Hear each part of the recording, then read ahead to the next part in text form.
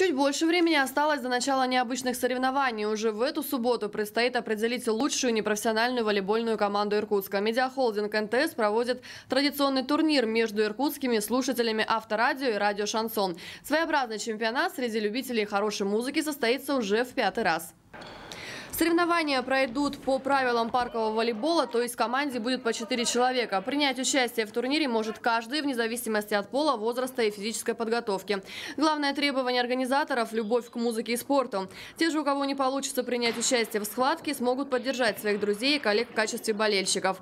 Пятый турнир среди радиослушателей обещает быть принципиальным, ведь на протяжении последних трех лет чемпионами становилась команда любителей шансона. Так что есть все основания ждать грандиозного реванша. Начало турнира в 12 часов.